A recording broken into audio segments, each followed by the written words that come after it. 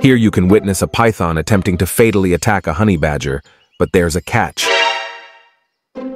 Honey badgers are nearly indestructible. What? The badger escapes the snake's oh, no. grip with the assistance of a jackal and wastes no time deciding that the snake will be its meal for the day. The jackal anticipates this and calls for reinforcements, causing the honey badger to face a two-front battle. However, this isn't a problem at all.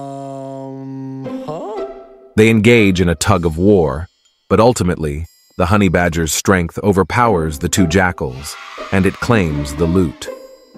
For the honey badger, this encounter is likely the least astonishing part of its day.